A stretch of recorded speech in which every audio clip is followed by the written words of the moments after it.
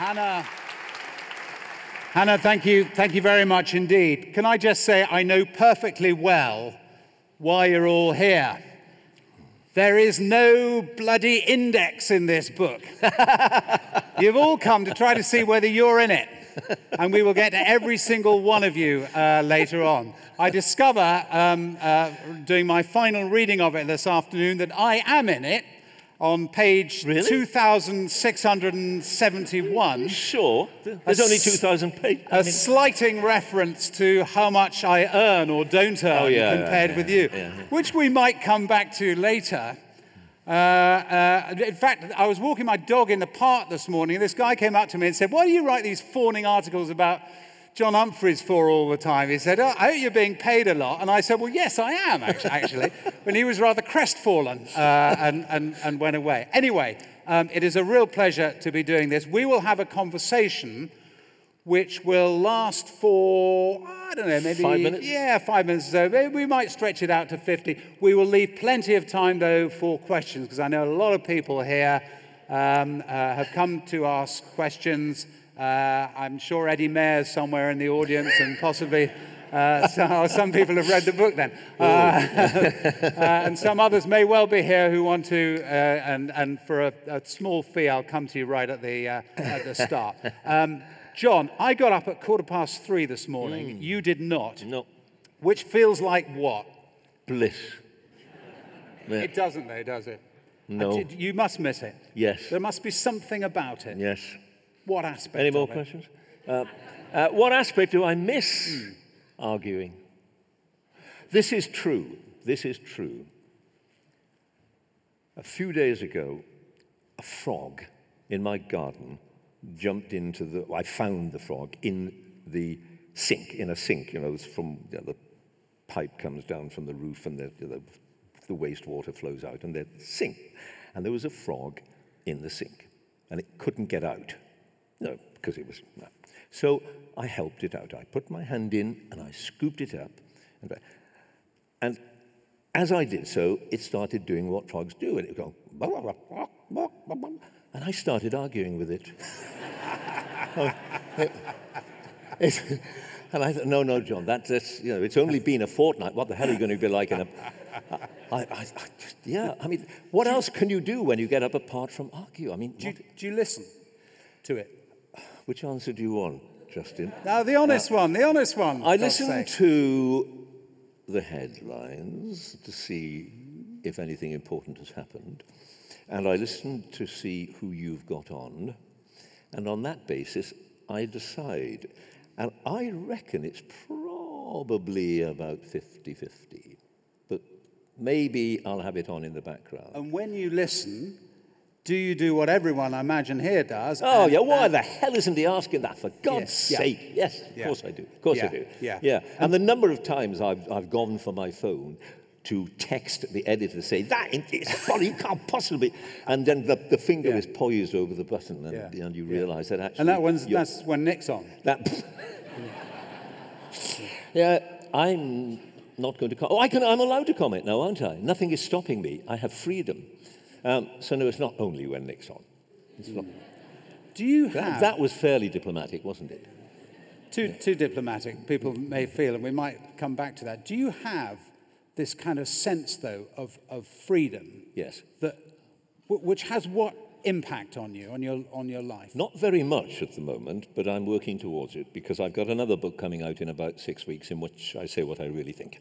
Yeah, it's, it's taken me a little while to adjust. Um, not, well, I mean, the honest truth is not very much because having done the book, I mean, I've said in the book pretty much what I think about things. I mean, it was weird starting the book because I'd, I'd actually signed the contract to, to do the book nine years ago, promised to deliver within two years, and then finally got around to writing it, starting to write it about eight or nine months ago. So instead of having seven years in which to write it, I had a few weeks, a few months in which to write it.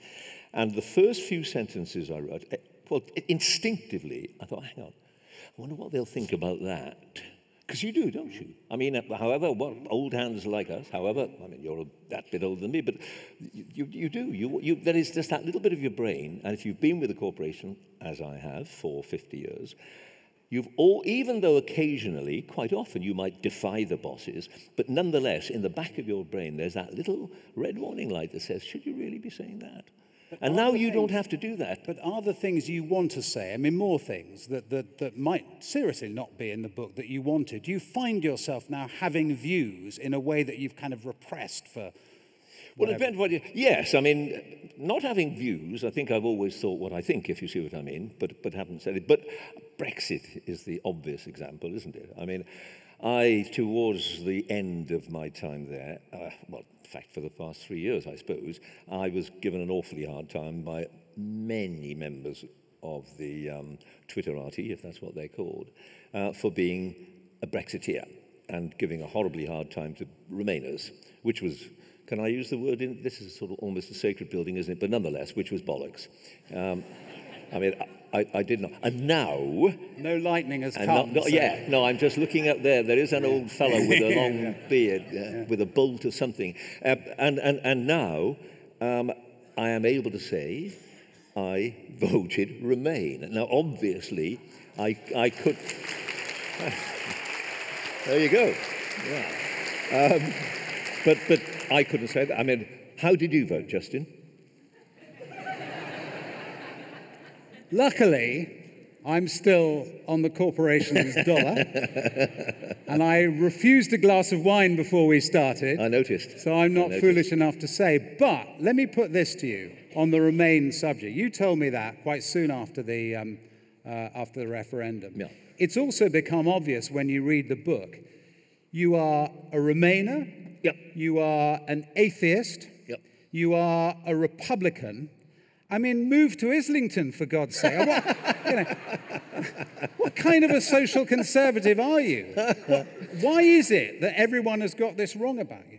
Um, because you're not, you're not a proper representative of all the things that you sort of claim to be representing, it seems to me. Oh, are you sure about that?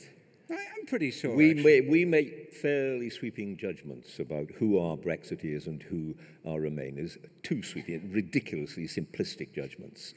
And there are plenty of perfectly thoughtful, perfectly intelligent, perfectly worldly wise people who see no reason why we should not leave the European Union. That's just one illustration. Republicans, I, what I actually said was, um, I think, was that the Queen obviously is doing a good job. And I did, I, you can't say anything much other than that, can you, in truth? I mean, the Not idea, in your first book. well, I mean, well, well, no, but even in the seventh and eighth book, the fact right. is, the idea of getting rid of the Queen at this stage in our history is simply bonkers.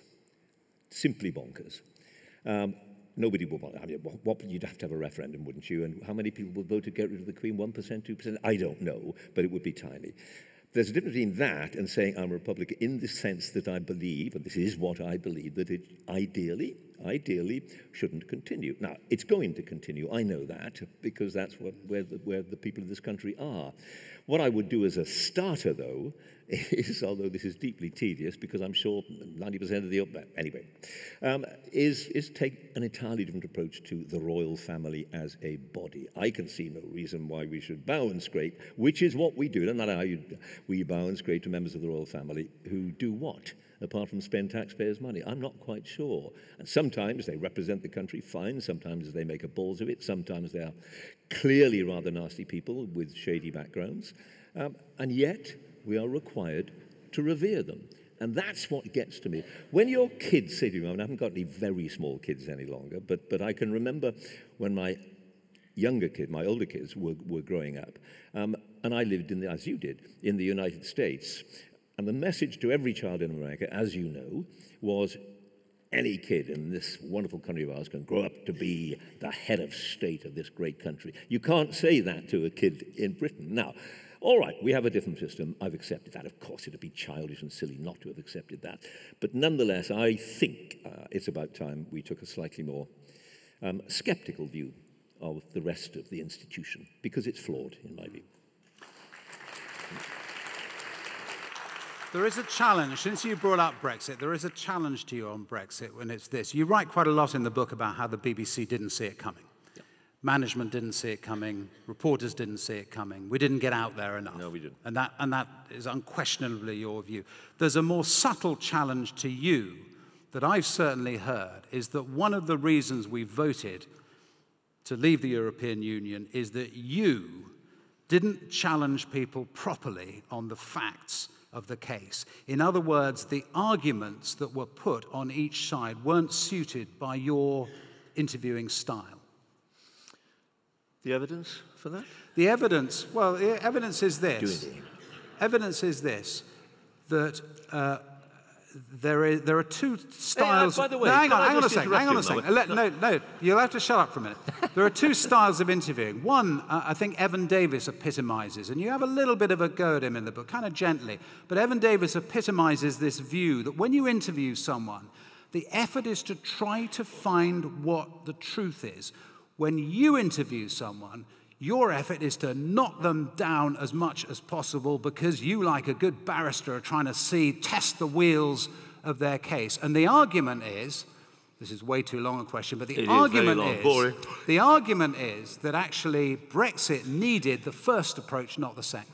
Well, there's an argument for that. Um, oh, I, okay. I, right, I done. Would, I mean, okay, I've got to stop you there. It's time for the weather. I've, I've, I've actually, I think you've conceded it. I've actually forgotten what the first part of the was so long. But um, well, I took exception, by the way, to the word truth. We're not trying to seek or find or prove the truth. Are we not? No, no, no, we can't What's do actually that. happening? No, no, facts. no. I, th- I think you're con- ah, ah, facts. Yeah, but people can take one group of people who believe in particular ideology or whatever happens to be can take a set of facts, which are indisputably facts. Another can take the same set of indisputable facts and reach entirely different conclusions and tell you that the truth of the matter is X or Y. That happens, and has always happened throughout history, and will always happen. Um, and so I'm nervous about the word truth. Whose truth do you want? Do you want Donald Trump's truth? And I use the word in inverted commas, clearly, when we're talking about Donald Trump. Or do you want Boris Johnson's truth? or do you want Jeremy Corbyn's truth? They all have different versions of the truth. That's a cop out. There is something yep, that you spotted it. Well done. There now, is I'll something that is true. I mean, there really is. There are things that are the case about, for instance, trade, about, for instance, the Northern Ireland border. There are things that are factually true about what is possible uh, and what isn't. So the challenge to you is that your style doesn't, doesn't get at them. Northern, Northern Ireland border, good example, perfectly good example. It is the case, and this has puzzled me right from the beginning, it puzzled me uh, to this day that after Brexit, however it happens, there is bound to be a border between the United Kingdom, as exemplified by the, the, the, um, the, uh, the province of Northern Ireland and the Republic of Ireland. There has to be a border, otherwise, we all know what would happen. Now, the effect that that would have is where you get into difficulty with the truth. Those who are unionists will argue that it would destroy the union. Those who are nationalists would argue that if you do allow the border to be recreated, it is inevitable that there will be, it will destroy the, uh, the Good Friday Agreement, there will be violence, and the whole thing will fall apart, will come apart at the seams. Now, those are two versions of what they would regard as the truth. I don't know which of those is true. I've absolutely no idea. So all you can do, and you were almost right in your laborious question, you um, all, all, all, you can do is try to establish the facts. But then again, whose facts do you want? Do you want Boris Johnson, for instance? Do you believe Boris Johnson when he says that in the case of the Northern Irish border, you, there is uh, an indisputable case to be made for um, operating the border electronically? Or eight miles away from where the border happens to be, finding a way of doing it technically that, that isn't in operation at the moment but would work perfectly well or the view from Brussels, which is that it wouldn't work at all. Now, now what set of facts do you want? All right, you bored me into submission. Uh, look, look uh, can we go back to where the book begins and the well springs of what it is that, that made you you and made you not only want to go into journalism, but made you have the attitude that you have to authority. And there's a, there's a bit in the book where you go to hospital, you're a young kid, and there are posh doctors. Um, tell us about that and what happened and why that matters. Oh, it, it, seems to me that that matters a lot. Well, it, that, that's, it, it, was an example um, of, uh, of my view. Uh, 15 year old, 14 year old view at the time, 14 year old view that they were against us. That is to say, rich people, middle class people, were um, against us, the poor people. Um, it started not in my, in my hospital bed. Well, I mean, my father was, um, uh, how can I put this? He was a very strong man who had very strong views, who had absolutely no time for authority. He, he went blind when he was a young man, uh, when he was a kid. Uh, he had got measles and managed to escape from a bedroom where he had been confined because in those days when you had measles you weren't allowed to go out because the sun could destroy your and he, he his mother went out shopping my grandmother went out shopping and he uh, he escaped from the house. There was snow on the ground the sun on the snow and he lost his sight. That did something to him. That did something quite profound to him because of the way he was treated in the years that followed that. Eventually, he managed to get a job, um, and in his first week there, he punched the foreman on the nose and lost his job and never worked for anybody again. And much more seriously than that, um, they, uh, my, my small uh, sister, uh, Christine, um, died. She'd been taken ill, not a desperately um, serious illness, and uh, was taken into hospital. My parents weren't allowed to visit her, and um, and very soon after she'd been taken into hospital, she died. Had they been allowed to visit her, which they would have been allowed to do had they been members of the articulate middle class, things were awfully different a few years ago to what, a few years ago, 70 years ago. Um, they might have made the difference. She might have lived because they would have spotted. Um, he never got over that. He hated authority. He was a French polisher who, if he knocked, we needed the money, God knows, but if he knocked on the door of a grand house and was told to go to the servants' court, uh, entrance, he would turn around and walk away. That's the sort of bloke he was, and, and I inherited that. He did not, he yeah. was um, a, a, a, whole, a, full-blooded Republican. He, he was a member of a club where the Queen's picture was on the wall, and there was one Friday evening when the club was absolutely full, he refused to sit in the only empty chair beneath the, yeah. the Queen's portrait, and he said so, and they expelled him from the club. I mean, that sort of thing went on all the time. But it's more you inheriting it, isn't it? It, it formed you. That formed it, you. It's so obvious from sitting... It, it, near you for it, 10 years. It That's did. And, and, and, and the incident that, that, that you referred to, yeah. I, was, I was in hospital. Um, I, just for the day, I mean, I was a day, I, um, I had a cyst at the base of my spine. So I was lying on the bed, naked, and the, uh, are you sure you want this story? And the, um, I wasn't going to mention the cyst, but anyway, well, you know, now, otherwise there's not much point of it. Anyway, the, the, consultant arrived, the grand man arrived with his uh, little coterie of um, of student doctors, all of them obviously posh young white males. And, uh, and he ignored me, totally ignored me. Because I didn't so much as say, hello, whatever. Didn't bother with my name or anything. He just, they, they stood around and he pointed at me, pointed at the, at, at the sister and said, you know, no real problem here. This young man simply um, doesn't bath enough and moved on. And, um, and what I wanted to do was, well, A, punch him on the nose, and, and, and B, say, actually, you know what? Um, I've got other things wrong with me as well, which are partly a result of the kind of way you live when you're poor. We didn't have an indoor toilet, you know, so in, anyway, look, that, mm.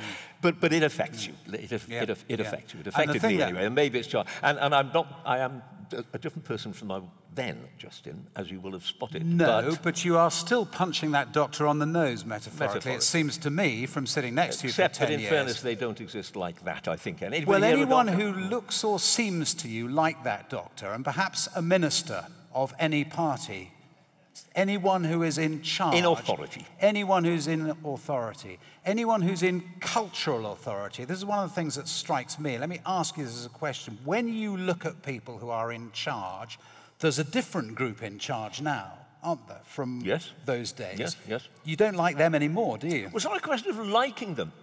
We're journalists, and our sacred duty, God forbid, pompous phrase, but what we have to do and it's only we who can do it, at least. Only we can do it. We got people out in the streets a few yards away from here doing it for themselves. And that's fine. But we have access to power.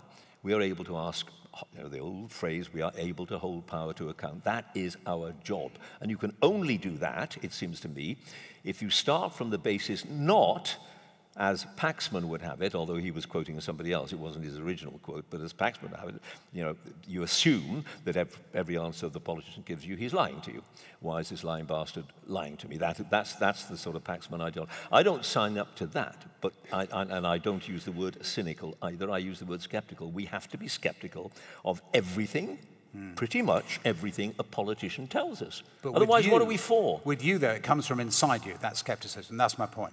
I think it does and I think you well. Are, I mean, well, I'm not so sure because I don't actually think I know anyone else at the BBC who has known that poverty that you described or lives viscerally, and that's the difference, isn't it? Viscerally, with that sense of, of disliking authority. I don't like the word dislike, really. Um, because it does depend on the individual, doesn't it? And you can't dislike a class. And after all, I'm a, you know, I'm middle class. Now, for God's sake, I've earned a lot of money, as you subtly pointed out.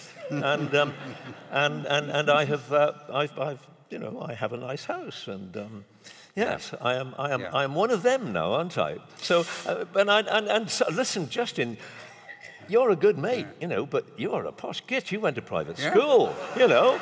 I mean, I've been made aware of that every day for the last 10 years. Oh, no, no, that's not oh, fair. Oh, yeah, he said, every, every, What are you wearing today? No, oh, God, there you are. Every, Jeans, I suppose it's all right for your class. Every week, I, I tell you, I had a wonderful exchange with Edward Stourton, who is a, a wonderful, Who's allegedly posher than me, at uh, least I, I, I, think by a mile, by a mile. But, and, but a lovely bloke. I mean, and a brilliant, brilliant My mother would say not, actually, but anyway. No, quite yeah. so. Yeah, well, well, the thing is, we were talking about Christmas and stocks and uh, mm. uh, whether you were hung up stockings or whatever for your um, mm.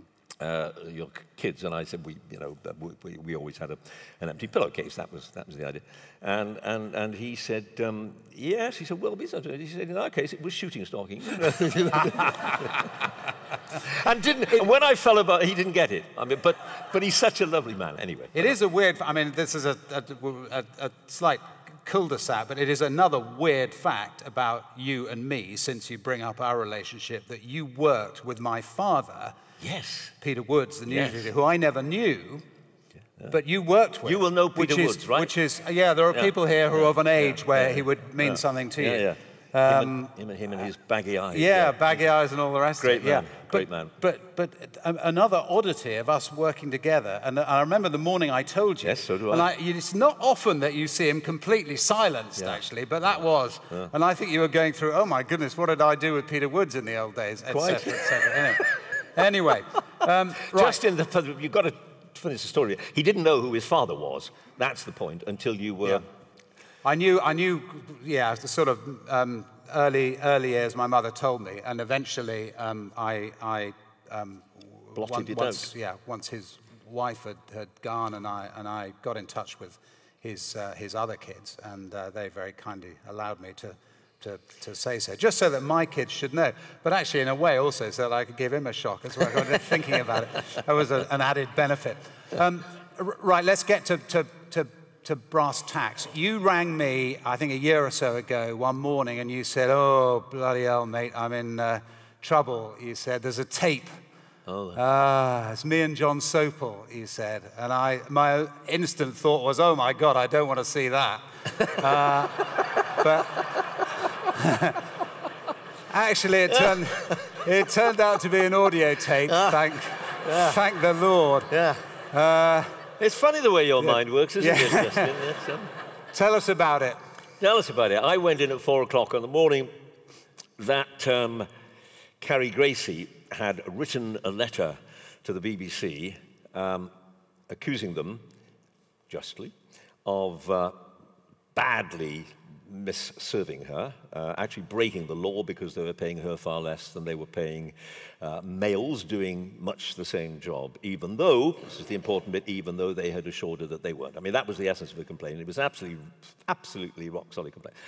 It was slightly weird, to say the least, that she was continuing to present the program that morning because it was a huge story, obviously, and neither she nor I was able to talk about it because that was the ruling. And when, you know, she wasn't allowed because she's not allowed to use the data so and so. I wasn't allowed because she wouldn't answer. The, so it was, it was a very, very, very strange setup. And most bosses did not want that to happen, but a couple of very senior bosses said, yeah, she's got to continue to do So she was, you know, um, and, and when I went in, the first thing I had to do, having had a very quick word with, with Carrie, um, was to do what we call a pre-rec, a pre-recorded interview with your mate John, well, our old mate Jon Sopel.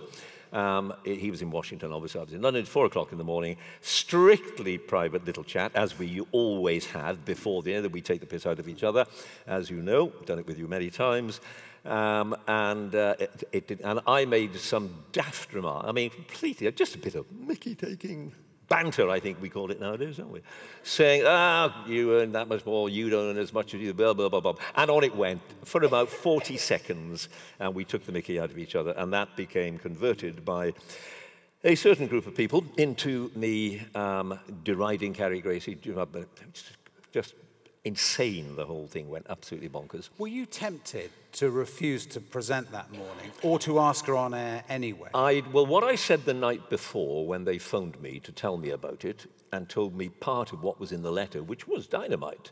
I mean, it was a big story, there's no question about that. Very, very serious stuff. And uh, my initial reaction was to say, surely she can't present. And the person I was talking to, uh, the then editor of the program, said, um, she's going to have to. We can't stop. I can't stop her. So there we are. Um, I didn't say no, I, I won't do the program on that basis, and I don't think I was tempted. I don't think, and you might argue about this, and I'm not, I'm not being dogmatic about this, I don't think a presenter can or should exercise power in that way. Because you would be. I mean, if I had said, no, I'm not going to present, the story would have taken a different turn. Yeah. It would have mattered about something. Yeah. And I'm not sure that we should use, abuse our power in that sense. So no, no, I wasn't. They played the tape on the PM program. Oh yes, they did. But but some days did later, Did they tell you before? They did not.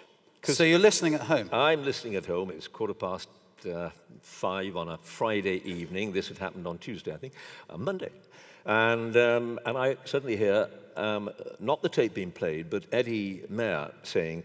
Women in the BBC, something like women in the BBC are being forbidden from talking about their paper, which is absolute nonsense. They weren't being forbidden. They were all over the papers, but they were forbidden, rightly in my view, from using their position when they were presenting a program to make their case. I mean, that is just, we might get on to the, uh, a more recent case of that um, in a moment. But, but that is a basic, basic principle of, of being a presenter. There is a difference between being a presenter and being somebody like you when you're in North America. I could say to you, what do you think of Donald Trump? You could say, I think he's a wanker. I couldn't just possibly, just possibly. And I could. For I, the record, I don't. Uh, no, you don't. He, he is probably the only senior, experienced, knowledgeable, intelligent journalist I know who doesn't. But Mind you, that's not going too well it's at the moment. Not going anyway. too well at the moment. It's not. Yeah. But but but, but so anyway. You, hang on. So you heard you hear the tape going out? No, I didn't hear the tape. I heard Eddie right. announcing that um, this was going to happen, that, that um, this had happened, and then reading in in. It, it really was as, as, though he were reading the announcement made by the Prime Minister on the outbreak of war or something. very, very solemnly, what I said, what she said, what I said, in those tones that you know, Eddie reserved for the most. A and, nice, soft Scottish accent. Yeah, but, but with believable, profound, but with profound regret at the same time. Profound you know regret, that yes. such an awful thing could have happened. Yes. Now yeah. you know, and I know, we're journalists, that if you're going to report a story, a controversial story like that, the very first thing you do is you call the person at the heart of the story, in this case, me. And you say, Do you want to come on and defend yourself? Had they? We shared the same room. We said it's the same newsroom. Um, they could have just popped across, walked 20 yards. They could have picked up the phone. Did you ever discover they, why they didn't? Yes, I do know why they didn't. Because Eddie was determined to do it that way. And when Eddie was editing the program, he got what he wanted. And he wasn't formally the editor, of course. He was not formally the editor, but you'd never guess it. Because I rang in, as soon as I heard that, I rang in, spoke to the editor, and said, I want a right to reply. Because Eddie, at no point, this, the whole thing about it is that at no point did Eddie suggest I had been joking yeah. with Justin. Right. Uh, with, Justin, you're Justin, aren't you? The other Steady. one. Yeah, I was not involved you, in this. You can't tell them apart. with, uh, with, with, with, John. Um, at no point, no, no suggestion that it, from him that it might have been a joke. Right. Um, and so I felt that I, I should at least be allowed to say, Em, it was a joke, silly, stupid, but nonetheless, you know, two old mates, and we are old mates, we're old friends, we've been taking the mickey out of each other for 30 years. Um, but at no point did they do that. And then I rang, I rang the program, said I want to speak to the editor, spoke to the editor of the program, spoke to the editor of the program, and said, um, in fairly fruity language, it must be said, I want the right to reply, as it were. And he said, I'll call you back in 10 minutes. He didn't call me back didn't in 10 are? minutes. So I rang again, and this time was just a teeny weeny bit more cross. And he said, I'm not allowed to let you come on the program. He's the editor. Now, there's only one person who could have stopped him doing that. And it wasn't one of the big bosses because yeah. even the big bosses didn't know what they were doing. Mm. Okay. Uh, anyway. The substance, though, of it is that you were paid an awful lot more than uh, particularly the women, but actually the other well, people as well, as well and, and, me as well. Uh, so there was some justice in it, yes. yeah, go on. Was that the result of an understanding of your worth that was fundamentally yes, that'll do. Yep. corrupt. Because you all arranged in those days, all of you who were the great stars, arranged your salaries with managers who were also overpaying themselves, I put it to you, and actually there was something pretty sickening about it. No, I don't agree with that at all. Um, I'd been, uh, like you, in fact, I had your job in North America for, for six years and was paid the usual salary. In those days, I don't know, it was about 40,000 quid or whatever it was. Um, came back to Britain, was asked to do the nine o'clock news, was told by management that I'd be idiotic not to go freelance. If I didn't go freelance, I'd be very silly because I was on the staff, of course, as foreign correspondent. Um, and they said you can double your salary if you go freelance, at least. So I did. Um, and I doubled my salary and then they asked me to stay program, the Admiral. And one thing and the other, um, I wrote a column for the Sunday Times, for which I was paid quite a lot of money, and um, then was stopped from doing that and was compensated for doing it. Do you know, I never, ever went to management and said, I want more money. Yeah, but that's the extraordinary thing, actually, isn't it? I mean, that's the thing that I wonder about. And I, th I think a lot of people wonder about. I was always stunned at how much I was earning. Was, what were they thinking? When they, they paid you, year after year, more and more money? Uh, well, it wasn't, yeah, I mean, it, slightly overdoing it. I mean, I was paying, earning a lot more than you, that is certainly true, but I was also doing Mastermind, and that was you know, completely separate.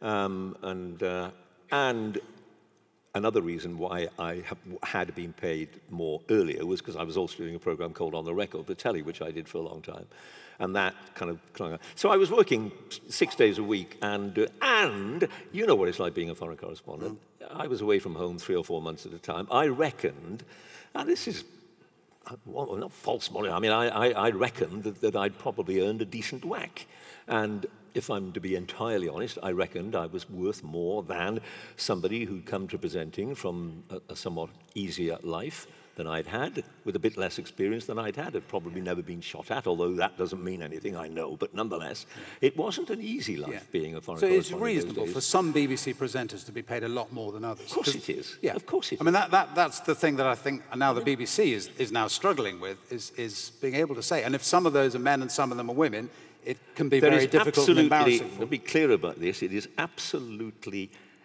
100% unjustifiable for men to be paid more than women. Full stop.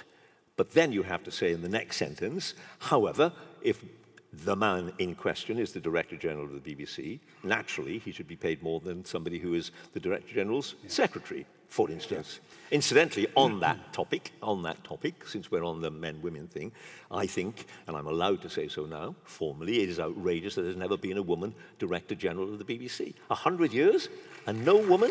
So I, I have absolutely, I have absolutely no problem at all I mean, of course women should be paid the same as men. Of course they should.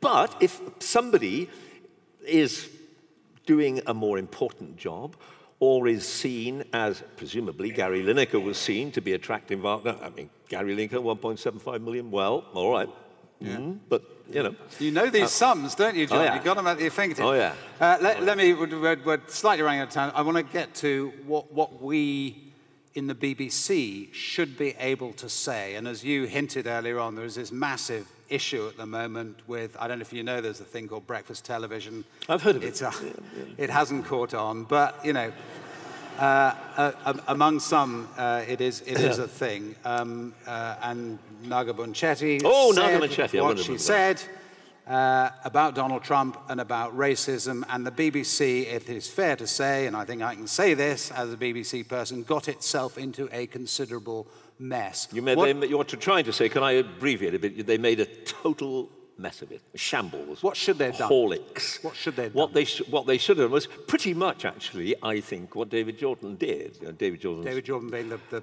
controller of editorial policy. Exactly. His initial response. His initial response was to say, as I understand it, and I wasn't actually here at the time, but, but uh, as I understand it, um, his initial reaction was to say, nothing wrong, but no reason why Naga shouldn't have said, as a woman of color, I suffered in this way and that way and the other way. That's her own personal experience, she's entitled to say that. What her co-presenter, Dan, shouldn't have done was to then ask her a question for her views on Donald Trump's motives in saying what he had said. And I think that's right. Presenters, it's what I said earlier. It's going back to what I said earlier. Presenters are not allowed to express views on controversial political topics. I mean, so where the BBC eventually got to was the wrong place. Was the wrong place yes, in your view? Yes, yes. They, I think they were. And that so, was Tony Hall who they, overruled. Well, they, the thing is, they were so. I made this point in the book, as you know. Um, the BBC has been historically and remains, I think, historically afraid of certain pressure groups, whatever they may be at the time. I mean, back in the late 80s, mid and, and, and into the 90s, uh, immigration was a huge issue. The BBC was excuse me, terrified of being seen as anti-immigration in any sense whatsoever, so they went in the opposite direction. They were terrified of being seen to be anti-Brexit, um, and they went in the other direction. We regarded people this, not specific individuals, but there was a sense that anybody who, who preached the Brexit cause, though we didn't even have the word Brexit in those days, did we? Anybody who said it was a good idea for Britain to leave the European or the European Union was bob um, they were regarded as a bit loony. They weren't regarded as serious people. That was the mindset in the BBC. And throughout, we do so it. in this case, who are they frightened of? Who's bullied them? Oh, oh obviously, um, racial uh, Uh, allegations, allegations that they're in any way, shape, or form racist. But, See, but they weren't being, it seems to me. They weren't being. What supporters of, of, of Naga Munchetty say, and what, what opponents of the BBC's initial decision say, is hang on a second, why is she being prevented from saying what she wants to say and bringing herself to it when we know perfectly well what John Humphrys thinks about media studies and uh, I would respectfully uh, suggest organic Webb, farming that racism as, and media and, studies are in slightly different well, categories. No, but, but, they um, do know what you think. Well, that's, that, that's the argument. I'm putting it to you. They, they say, why the hell shouldn't she be able to say what she says about Trump? Because we know what people like I, John I think the serious answer to that fairly daft question is that uh, me, me, media studies is a matter of monumental unimportance for most people. Uh, sorry, um, but it is. Um, and soil, we talked about more views on farming. Yeah, yeah. yeah. Um, I think we could all agree that healthy soil is a good thing and not highly controversial, couldn't we, really? I mean, I happen to think it's one of the most important things that, that uh, we have. Along, obviously, global warming is up there at the top, and the, so, the health of our soil is a massively, massively, massively. So I don't think that's too controversial. Mm. But I think to call the President of the United States, not that she did this, but she was, she was being invited to suggest that the President of the United States was a racist. That is a very broad view from my ground. I slightly exaggerate, but, but nonetheless, that was, the, that was the direction in which it was going. I think that's wrong. When we get to that stage, and, and you can't, there are some things like racism, like immigration, uh, that, that are beyond. So, so, how serious an error, if it is an error as you think it is, how serious an error has the BBC made? How, how what, what potentially will come of it, do you think? I think the answer to that is not very much, to be honest. I mean, I think we're through it. You know, the old Alastair Campbell line, which was that um, for the for the story to become a, a, catastrophe for the party or the government or whoever it is, for the story to become a really, really, really damn, it's got to run on the front pages. I think he used to say for 11 days, or it might have been nine, I can't remember. But, you know, that was the kind of length, span, the length of a story. And this hasn't passed that test. Mm. I think. Well, I don't know. You may all think. Yeah. Well, uh, people can that, bring it bring it up. And, yeah, yeah, yeah. I want we got, got just a few more minutes before I throw it open uh, to people. You, who have you not interviewed who you wanted to? Oh, that's easy. That's easy. You must have. I certainly have wanted to sit there on Monday morning and say, and with me this morning is Her Majesty the Queen. I mean, you do, don't you? You, you, you just. Partly, I notice she's not in a radio car. She's part, come in in this fantasy. She's come, that, Let's have the full fantasy, that, guys. That follows. She do, yeah. do, does, doesn't have to wear a crown, though. Well, okay. No. Yeah. But you just, just, I mean, it is every hack's dream, isn't it? Apart from the fact that she is unique, uh, she has met, probably met more powerful people in her life than anybody else on the planet and would have views that are really seriously worthless. And I mean, then there's the gossip, isn't there? You know, I mean, is Andrew really that? You know what I mean? You, uh, so, so so, so, the, so there's that. Um, anyway, anyway. Hang um, on, what's the first question? I'm assuming that's not the first question. Uh, what's the first question? I, I, to the Queen. She's well, there. Yeah, it's but, 10 but, past 8. You had but, the news bulletin. There's a few security people around. Yeah, but, but typically, you see, typically you're trying to frame the interview. Let me say what, if I may, Mr. What I want to say. And, and that is to say that I very nearly got that interview. Hmm.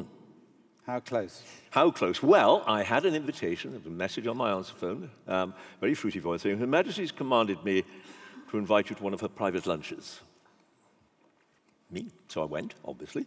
And I, I, I do remember walking through Buck House with the, the rather tall and elegant uh, who'd been sent to welcome me, to greet me, to escort me to the, and, and saying to him, I was feeling slightly nervous, I was saying I didn't realize that people like me got invited to these sort of things. And he looked down at me and he said, no, sir, neither did I.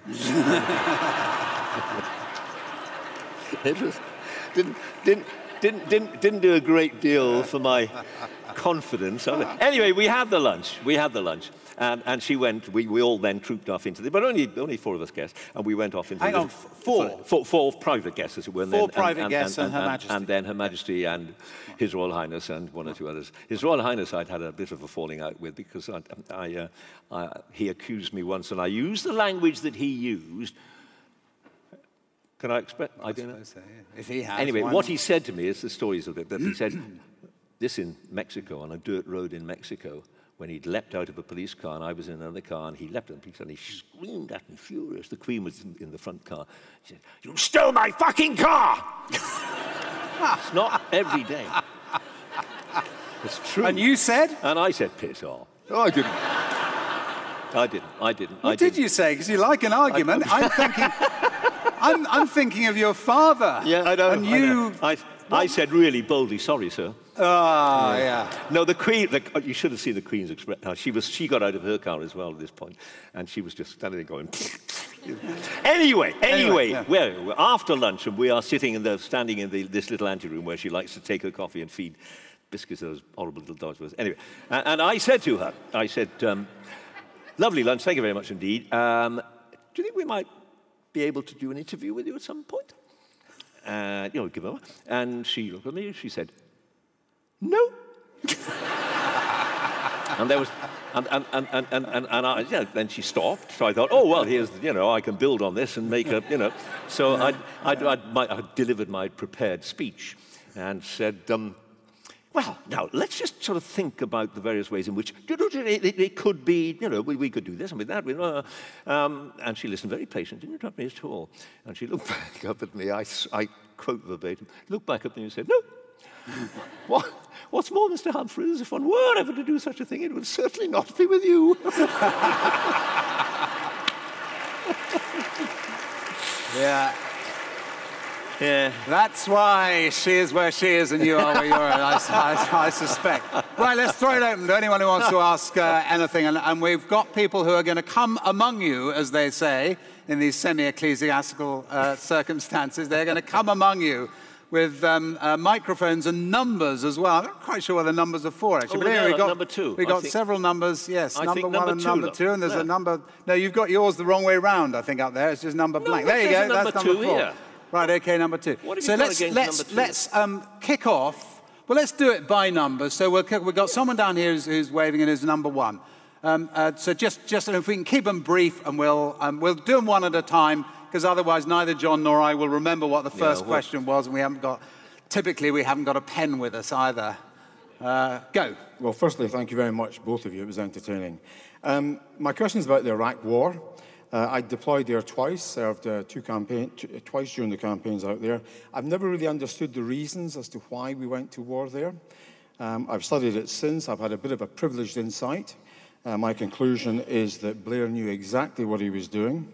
Uh, Bush lashed out against terrorism and commenced a global war on terror. The British public was conned. And most importantly, Mr. Humphrys, Andrew Gilligan was probably right. Okay. Would yeah, you, I would agree with pretty much everything you said. We went to war because Tony Blair had promised George Bush we would go to war. We went on the spurious um, basis that they had weapons, Saddam had weapons of mass destruction, which he could unleash in 40 minutes, which was complete balderdash. Um, sometime after the end of the war, only a few weeks after the end of the war, I got invited um, by an unknown figure. They do it rather stupidly. They, you, you get a call from a, a rather fruity voice saying, if, if uh, we were to invite you to have lunch with a certain mm, figure uh, whose name I'm not allowed to disclose, would you accept? And you say, don't be silly, you've got to tell me who it is. Anyway, the, the figure turned out to be the director of MI5, Sir Richard Dearlove. And, uh, and this, as I say, was shortly after the war, uh, by which time, as you know, um, no weapons of mass destruction had been found. And I asked Dearlove over this lunch, I, I said dinner, I meant lunch, over this lunch, um, whether it was true, in his view, bearing in mind that he'd been briefing Blair pretty much every morning uh, of his life for the last several months on the situation in Iraq, whether it was indeed true that Iraq posed a real threat to this country. And he, he said, and, and being a frightfully posh person, it's not that I'm hung up on poshness, you understand, right? but, but, but a frightfully well educated You decide. or or a frightfully well educated person. He said, on, on any Cartesian analysis, it is our view that you, uh, Iraq would not feature in the top. And, and then he said to me, and how would you, members of the media, this was obviously why I'd been invited to this lunch, uh, private lunch, how would you, members of the media, react if we were to say to you that, of course, there were weapons of mass destruction, however, when Saddam realized that he was going to be defeated, he issued an order that those weapons of mass destruction should be destroyed. So therefore, we were not able to find them. How would you react to that? And I said, well, you mean after we'd picked ourselves up the floor because we were laughing so much? And he said, yes, I rather thought you might say that. And that's the truth of it. That's the truth of it. It, was, it was an insane decision by any standards. And well done you for doing what you did and for pursuing it the way you have. And in the way, though, that the BBC pursued it,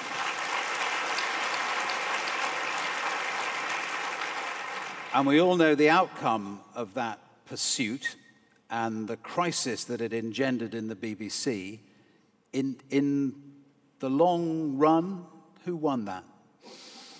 I don't think anybody won it because the residual distrust, there was already distrust, of course, between Blair's government, Alastair Campbell, and us in particular. Campbell loathed us, as you know. Um, I don't think anybody won that because in the end people have to make up their minds. And you've got one. I, remember doing interviews the morning of the Gilligan. I, it was it was I who did that interview with Andrew Gilligan. You may remember it.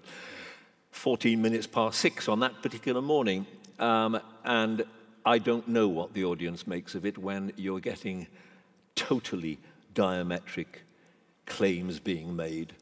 How, how can the audience be expected? I think, I think, and, and perhaps I'm wrong about this, I don't think people got a clear understanding, um, bearing in mind that we'd, we'd already had one so-called inquiry into the war. I don't think people got a clear understanding of what had happened and why until the Chilcot uh, report was published so the initial many, report many years that, later. that slapped the BBC around discredited immediately. Discredited immediately. As the Independent put it, and, and indeed the Daily Mail put it the following morning, big headlines, whitewash. And that's what And it you was. still believe that today? Oh, today? totally. Uh, number two, is there someone you're with? Yes. Here we go. Thank you. Um, I'd like to take up the question of the impartiality rule. What we've just been talking about underlines uh, the importance of it. Couple of things. First of all, John, you mentioned earlier on that you used to write for the Sunday Times but were asked to stop. Justin, you continue to write for the Times. What basically, as BBC journalists, required to be impartial on air, what uh, ground rules are there when you're actually in print? And allied to that, um, LBC permit their presenters uh, to sound their own opinions. Um, do you have an advantage over them, or is it the other way round? Great question. John. It is, a, it is a very good question. Um, uh, it's changed a wee bit over the years. I was allowed to write a column so long as, and it was the main column, so it, it got a, you know, a big chunk of space in a very prominent place in, in the newspaper, but I was allowed to do it uh, on the basis that I did not offer any opinion at all on British politics. It was a bit hazy as to what I could say about the rest of the world, bearing in mind that I'd been a foreign correspondent and had been expressing opinion about apartheid in South Africa, for instance, where the, the, the government of the day the apartheid government tried to get me recalled. I was, I, I set up a television news bureau in, in, in Johannesburg, and, and, they sent the South African government sent uh, the emissary, their, their ambassador here, to um, try to get me recalled because I was opposed to the government's policy, and they thought this was I was impartial. Uh, I, was, I, I, was, I was failing to be impartial. Um, and and the, my editor at the time, the, the director of News and Current Affairs at the time, who had the meeting with the ambassador, told me about it afterwards. He said to the ambassador, um, what's, what's the basis of, of, of you uh, demanding that Mr. Humphrys be withdrawn? And he said, well, because uh, he's not in favour of our regime. Uh, didn't call it a regime, of course, he called it our government. Uh, so I can't do the South African accent very well, but I will try. And, and, um, and, and, and then he said, well, I, I, I think the rest of the world is, is probably opposed to um, apartheid. Indeed, we know that to be the case. So Mr. Humphrys not. If he's getting things wrong, then we would seriously consider his position. To which the ambassador said, and, and I quote, at least I quote my boss, well, but he was getting things wrong. Very, he said, give me an example. Well, he said, in the first rugby test between, between the Springboks and the, and the Lions, Mr. Humphrey said the first try was scored by Heldenace. It was not, it was scored by Grobelaar. I remained in place. Um, but the general rule was not as rigid as it subsequently became, because after Iraq, as, as we both know, the rules were tightened. Uh, I was stopped from writing a column completely, but following the inquiry, um, I, I was stopped from writing, so everybody was stopped from writing for the newspapers completely. It was just a blanket ban. Now it's eased to the extent that um, we are able to write some stuff. We have to run it past the, um, you know, the, the, the, the, one of the senior editorial figures. But as for doing what LBC do and allowing their presenters to do what are sometimes violently uh, uh, opinionated uh, columns on air, as it were, express their opinions unreservedly, I think that would destroy the BBC. I don't know, it would be absolutely, in my view, absolutely unacceptable. We don't have a perfect system, but it's, it, we, we've got presenters like him and me have to be, or as I was, have to be seen to be, to the extent that it's humanly possible, have to be seen to be impartial. Otherwise, the BBC cannot be trusted. And the BBC have... has only one currency, and that's trust. No, but if we have a situation, which I think uh, you may be getting at, where increasingly other major broadcasters, as their business model, have yeah. opinionated stuff, can the BBC survive as the sole place where they're not opinionated? Because aren't people going to say of the BBC, oh, you're just as opinionated, but you're hiding your opinions? Right, well, fine. There, there is an argument that says it can't. I'd phrase it slightly differently. If we get to this, look, you guys, you people, own the BBC. You pay your license fee, and without it, statement of the obvious, the BBC cannot exist. If you want an opinionated BBC, you would make that. Let's just try it. Let's just try it. Stick your hands up if you believe that people like Justin, not me, people like Justin should be allowed for the no, just a straight question. I won't qualify it, but, but just stick your hand up if you believe people like Justin should be allowed to express views on air. even about racism? I wouldn't allow that, you see, because racism is against the law. We're against murder. We're against rape. Yes, no, but that's a, that's a... No, no, that is an no, hang on a important distinction. There are all sorts of things that are against the law, but that still doesn't mean that you on air, that people here want people on air to be saying, yeah, I think it's a terrible thing. No, no, but we are allowed, if somebody commits a dreadful, dreadful, heinous crime, we are allowed to say that man was evil or whatever. And no, who would argue with that? You know, who would See- argue that, that, that, that somebody who murders children... Personally, I think the issue is not so much what we write in the papers. John says everything we write in the papers as BBC people is, is, is read. And It's vetted, yeah. Yeah, it, it's vetted. What we write on social media isn't. Ah. And, and that is the, the, the next frontier for the Yeah, BBC. And I think the BBC is going to have to. Well- you, you've, you've rather, oddly for a, a youngster like yourself, you've rather stayed away from social media. I don't but touch it. Why not? Twitter obviously does a lot of useful, valuable things, but the price we pay for it is a, a rather nasty form of mob rule. Um, and when, when, when women MPs are being threatened with rape, um, and the, the kind of foul stuff, really, really vile stuff that appears uh, on, on the Twitter sphere, that's, yeah. I don't, I, don't, I don't feel the need to read. If people want to express opinions to each other, fine, let them, so long as they're not illegal. That is to say, if they espouse racism, then they've got to be shut up. Do you think because it's against the BBC people should be on Twitter? I would probably. You can't stop them because it's become a. It's, how many? Again, Hey, forgive me for doing this, them, but though. just out John, of hang on, John. You could stop them. You Well, just say to BBC could. reporters, "Look, you're a reporter for the BBC. then- it's a privileged position. Don't be on social media." And then, and then they would, I think, be entitled to say the rest of the world is on Twitter, from the President of the United States down. Why should we uniquely be banned from engaging in that public discourse? I think what you do, and this is what the BBC does, is says, they- they say use Twitter, but if you abuse it, as sometimes happens, then you'll be disciplined, and if necessary, you'll be sacked. And that's how it, I think it should be. All right. Well, it's a fascinating question. I think we've It heard is the an end of it. important question. Uh, number four. Come in, number four. Here we go. Hello. Um, I wanted to ask you about um, balance, which is obviously slightly different to the question of impartiality, and particularly around editorial decisions uh, and balance over controversial topics, especially political ones.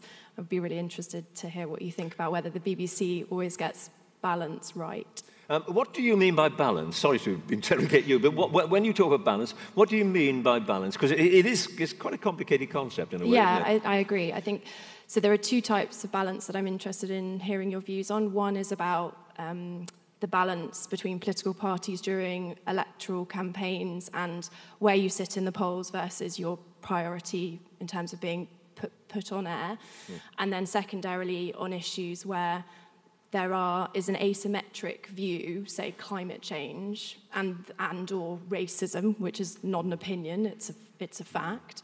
Um, but the need to present a balance of two arguments for the purposes of, of radio, you might have somebody who supports a racist view and doesn't support a racist view, and that that is a not a reflection of the true balance of opinion. Right, in- yeah, I'm, I'm, I, I, I take your point. Uh, well, I- I think it's perfectly straightforward, and it has happened to me. I've had somebody on the, the, the, the, uh, the Today programme um, who was allegedly um, an influential figure in his community um, who started spouting racist stuff to me uh, as part of the 10 past 8 sequence, and I shut him up and we got rid of him. People are not allowed to use the BBC.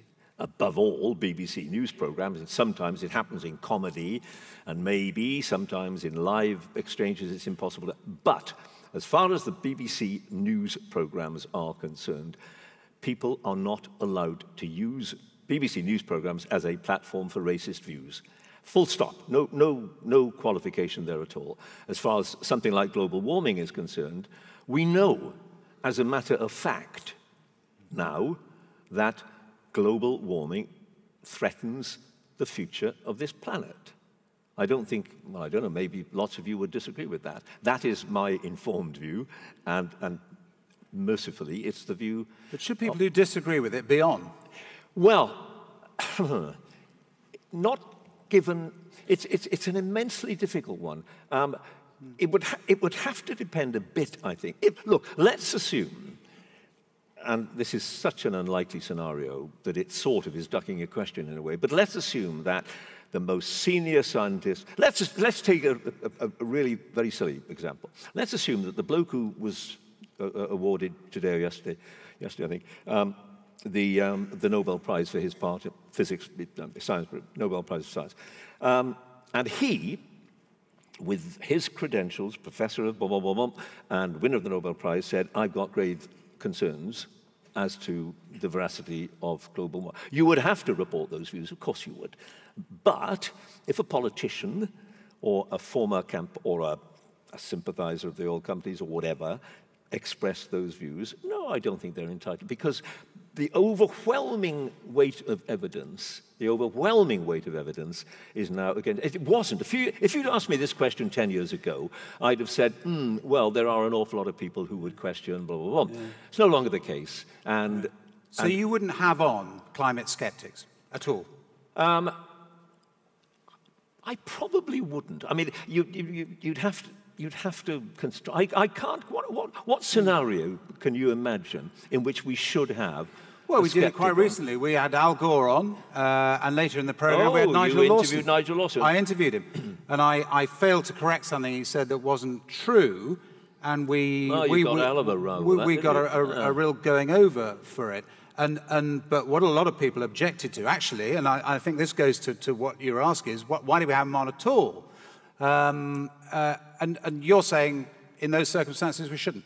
No, I think probably not. What about gay rights? Um, we have enormous pressure from some social conservatives who say we are being airbrushed out of modern life. If you sincerely believe that homosexuality is a sin, should you be allowed to express that on air on the Today program or not?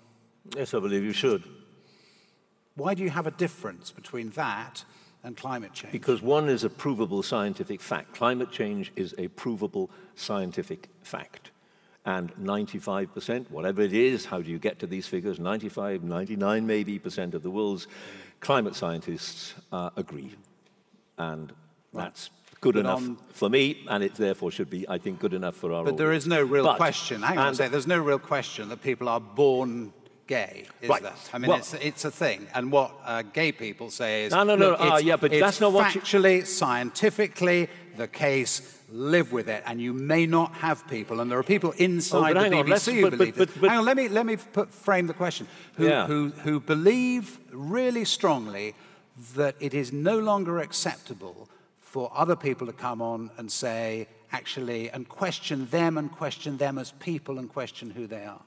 The difference is between doubting facts, scientific, provable scientific facts, and having a belief. Yeah? So if, and this is slightly changing the ground a little bit, but if, for instance, you have a bloke with a sandwich board um, on the street saying, the end of the world is nigh, and if you've got another bloke with, uh, you, will say, fine, you know, whatever. Um, and, and, you've got another bloke saying, um, all homosexuals should be locked up. That is completely unacceptable, obviously. That is not allowed. If you have somebody who, as a matter of deep, profound belief, feels that we, have, we should not be allowing exactly the same rights is the wrong word. And I'm trying, I'm struggling a bit with, with the word. If, if somebody, if you are a, a Christian with serious beliefs, who genuinely feels that Jesus would have been a, the, the Christian God did not want people of the same sex to get married, which a lot do, they are allowed to express that view. They should be. They are. I mean, there's no question about. It. They are allowed. The law doesn't stop it. Yeah, and they're on the. And they, and, and, but you want them to be allowed to. And they, are, they are allowed to express it. What we yeah. should not be doing, in my view, and it's kind of the other side of the case, the coin in a way. We we appointed an LGBT correspondent some while ago, um, who, after his appointment, um, made a little film for the BBC, for the uh, website, BBC website, in which he said um, that he regarded himself, I'm truncating it obviously, as a mouthpiece for the gay community. My view is that he shouldn't be. Uh, we, don't have, we don't have mouthpieces for any other community, do we? And I'm deep, deeply, deeply uneasy about that. That's slightly different, though, from this Yeah, yeah, balance is. issue that the, the lady at the, at the top. And I, and I think, you know, from John's answers, and, and th- th- these are discussions that the BBC, of course, has, Yeah. and they change over time. But, is, they- is but, the but, honest but Justin, truth, that's because belief. The, the, the big difference is, bel is between belief. Well, three things, right? Racism, no place. It's against the law, apart from anything else. And I think every, I would like to think every civilized person in the land regards it as being But abhorrent. discriminating against gay people is against the law. Yes, and, and, and, and we can't do that. We absolutely can't do that. But you might have, but you're still going to have someone on who says, I think we should. Well, you'll still have people on who believe that their religion tells them that, yeah, but then, but if, if they came on and, and said, you know, gay people shouldn't be allowed to be teachers, then you Yeah, run no, them no, out of no. town on a Right. rail. But there is a difference, I think, between a, a genuinely held religious belief and being allowed to express it. And uh, We went to four before we went to three, which is all wrong. But anyway, uh, yeah, here we go. yeah. Well, there's been a great deal of discussion about the decline of civility in politics in the public square. Do you think that is in fact the case, or have we simply become more sensitive over the past, say, 10 years? Well, I, I, can, I wasn't actually in the audience, but I can remember Nye Bevan calling the Tories sewer rats, or no, the lower than vermin, I think was, uh, was his expression, wasn't it? So I think that was quite a few years ago. Um, they've always abused each other. Is it much worse now? I'm not sure it is, to be honest. I mean, they're behaving pretty stupidly in Parliament, but then there's nothing new about that, is there? Um, and they, uh, are they, are they more disrespectful of each other than they used to be? I'm not sure that they are. You hint at one stage in the book that interviewing styles like yours, and you think back to Robin Day and Alastair Burnet and the people who kind of changed the style, that actually that, in a sense, has coarsened. I think way- it might have done. I think it might have done. Um, Do you I'm- accept then some responsibility for yeah, it yourself? Yeah, yeah, I do. Of course. Yeah. Um, the, the trouble is, we were on we were on a journey in a very real sense. We were on a journey. We, we were we were kind of on a from from Robin Day and Alastair Burnet. Um, before them, as as we all know, it.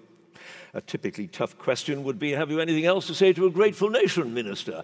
And, and we've moved on a bit from that, and it's, and it's, it's probably, or, or would, how, how, how shall we start, Minister? Shall we start with Home Affairs or Foreign Affairs? Foreign Affairs, jolly good decision, yes. I mean, it happened. It actually did happen. And we moved on a wee bit from that.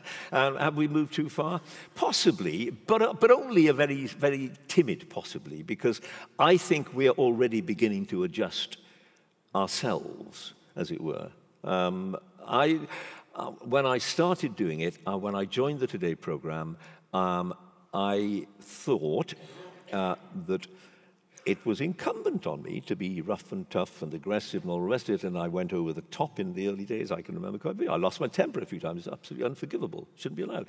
And, and I think you, you may or may not agree in this uh, audience. air, on air he's talking, and on behind the scenes, Behind, it's, behind the scenes, I was as, as calm as a millpond. yeah. Yeah. yeah. Um, but, uh, but I think that I have personally, since you're asking it personally, I, I think that I've become um, more um, laid back. Would that do? Huh? Well, well, well, a bit. How about a bit less aggressive? All right, I would settle that. I, I think I went through a period, I was a young man. I went through a period where I was probably too aggressive, um, too much of the time. And I think I probably did interrupt too much. I think now, I mean, then, I'm no longer there, am I?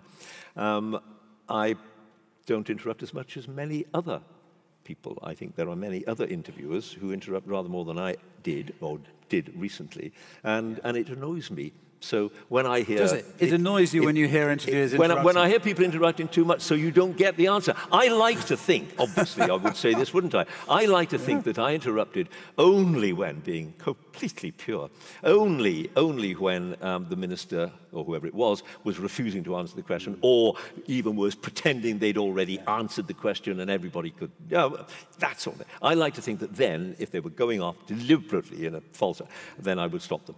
But, um, but maybe, yeah, yeah. And is that yeah. still, that should still be the rule for those of us who are still doing it that the interruptions come when someone has been asked a question, the question is obvious, and they are obviously not answering it. Then you are entitled. Otherwise, you end up with a series of party political broadcasts. Yeah.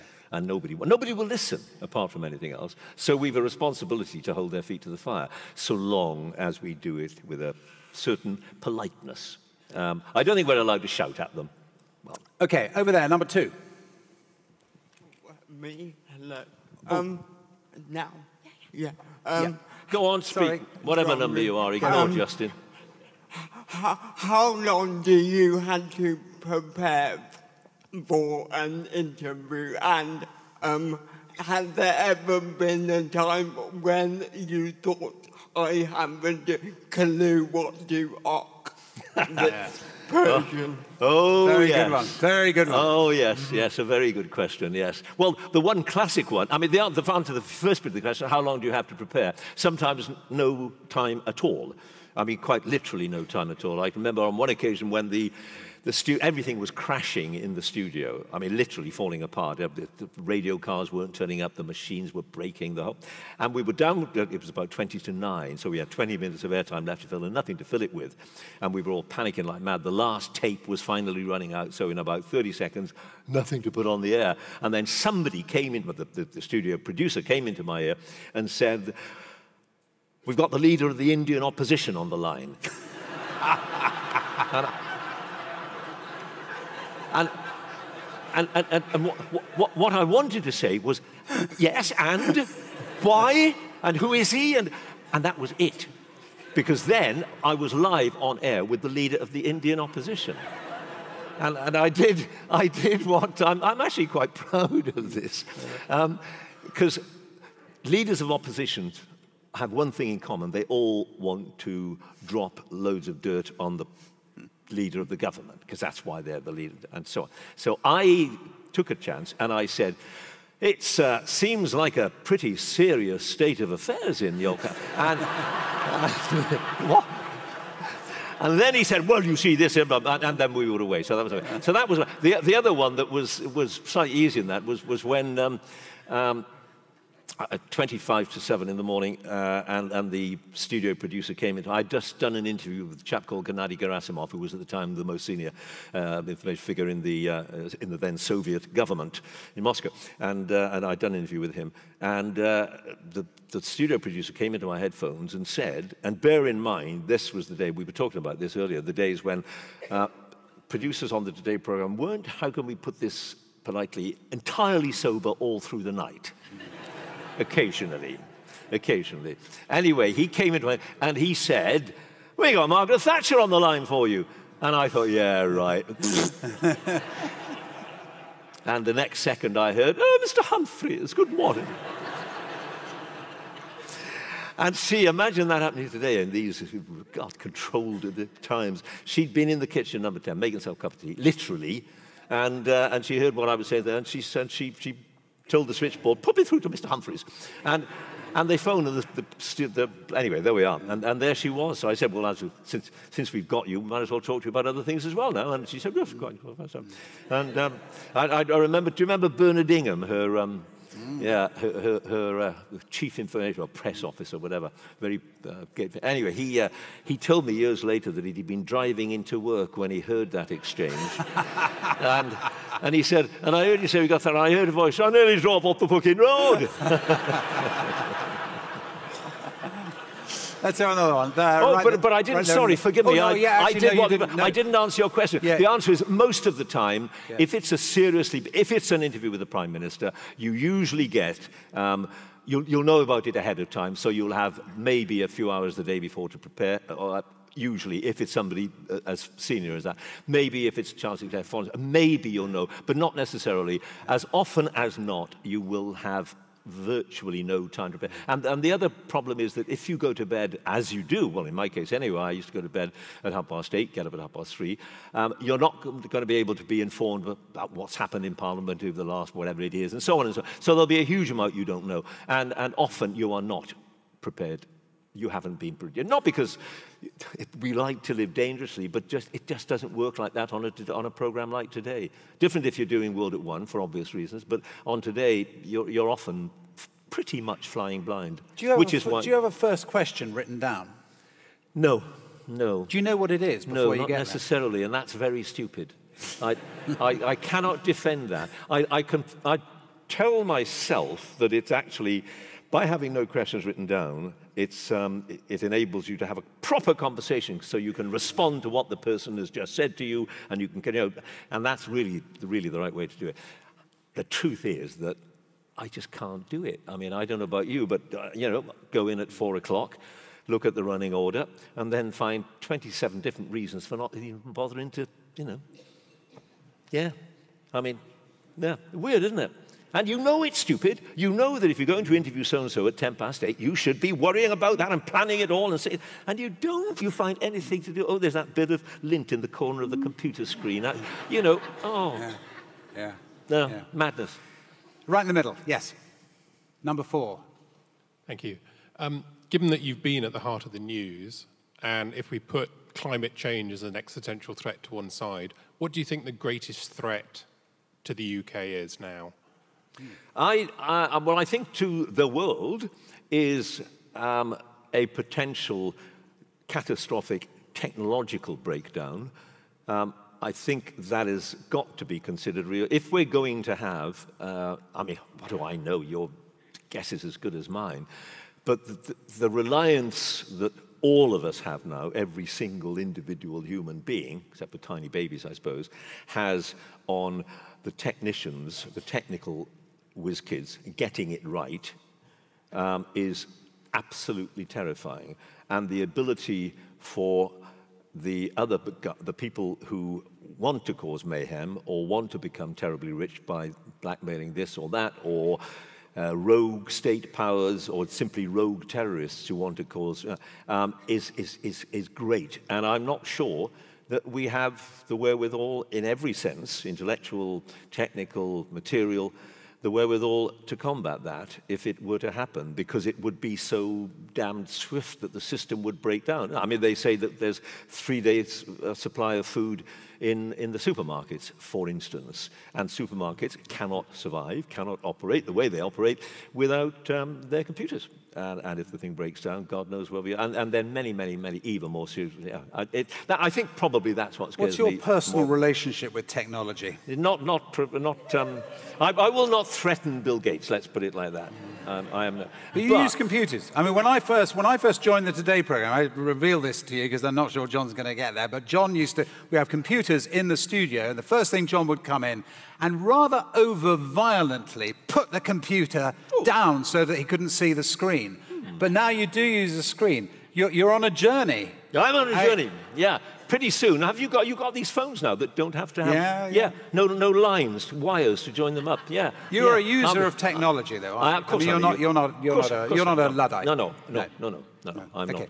But I really didn't think that computers helped in the early days. And what people were doing, we had a particular colleague, I won't mention his name, but he spent half the program when you could do this sort of thing, and it was unusual to be able to do it on the computer, booking his holidays and stuff. Well, you know. and you know who it is. Yeah. Yes. If I were a journalist worth my salt, I would press you on who it was. But actually, I'm not going to. There's someone right at the very top there, next to number four, and then we'll come down this side as well. Yeah. Thank you, Justin. Hello, John. Hi. Um, John, On the Record was a great program. It was axed, and I was very sad about that because Yeah, that's where I first saw you. My question, and you've touched on the answer to this question, and that is about politicians, the quality of politicians in Britain today, and indeed America. What's your view on that? Good one. And, and what's your view Yeah. also? Who are the best three Sorry, who are the. who are the best three politicians in the last 30 years in the UK or the US, and who are the worst three? On the record, please.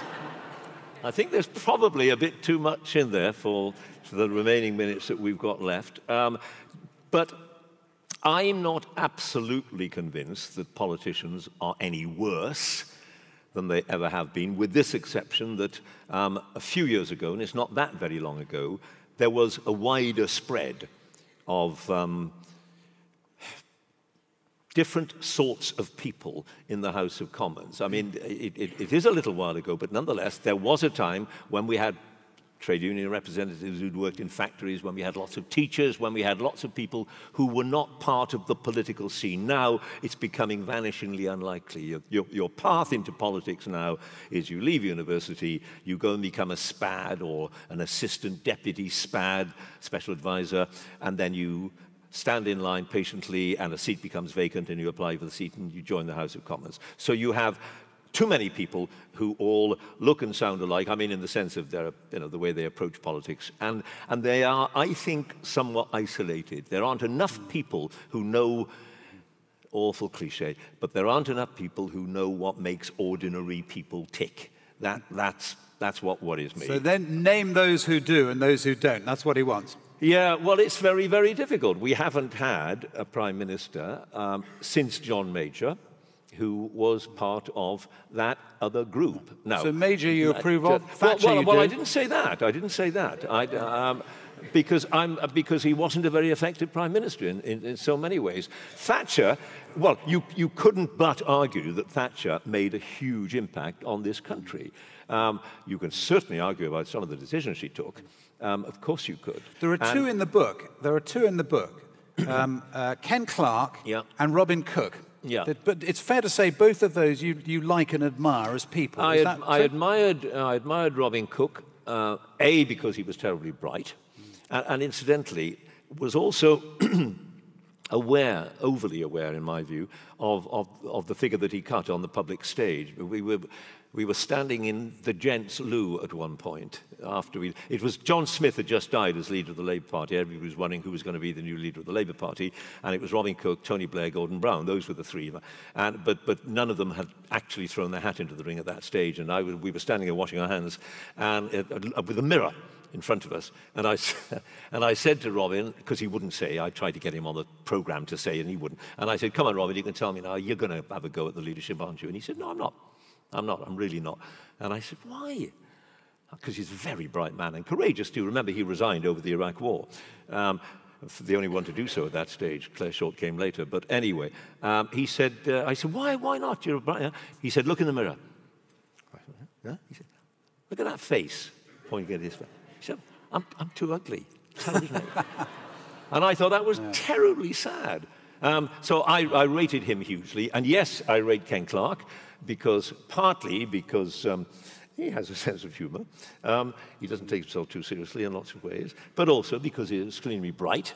And he does um, have a sense of what ordinary people in the street think. And, and he's not Prime Minister to well. so. And uh, might even temporarily be our next Prime Minister. Down to number one. Unlikely. Yes. Very unlikely. Good evening, Mr Humphrys. My question is, um, if you were able to give the controller of Radio 4 some advice to guarantee its future in a world of increasing um, media streams with podcasts and Netflix and another channel every week, what would those words of wisdom be? God, I wish I had some. Do you know what I think they'd be? And you'll be very disappointed with this answer. Don't worry too much about what they're doing on social media, for instance, or indeed what any, anybody else is doing. Radio 4 exists and prospers, and I know what you're going to say, young people aren't switching on, and that is a danger, but Radio 4 exists to be an intelligent voice appealing to a certain group of people, and that is always going to be the case. It will always be a certain section of the population, has always been, will always be a certain section, a, a pretty broad section, in, in many cases, certainly for, for, for the news programs on Radio 4. But what we cannot do, and my advice, the idea they, but anyway, my advice would be don't, it's not a race to the bottom. Don't engage in a race to the bottom. Don't look at social media and say, ah, this is the way you get the kids, because it's not. When I joined the, the, the program 33 years ago, they said, they were quite open about it, they said they'd given me the job because I was young. Imagine that being young. Um, and, and we had, we absolutely, the Radio 4 day program especially, had to appeal to younger people because they were, but you know what happens? Um, younger people get older. and then they die and other younger people come along and so on. And there is this kind of circle. And we still, I mean, when I joined the program, and I'd like to say this is entirely down to me, it may not have been entirely down to me, but when I joined the program, there were 4 million listeners. we now have 7 million. And the fact is, that's because young people are not as thick as lots of us say they are. They're actually pretty bloody bright, and a lot of them do listen to, the, to, to, to, Radio 4, albeit on different media. That's fine. They haven't got to sit there with a wireless set in front of them, obviously, and they listen on the phone or whatever. But they will listen if we're offering them the right material, and we've got to stay serious. That's the thing. Radio 4 is for serious listeners, or it's there's no point. That is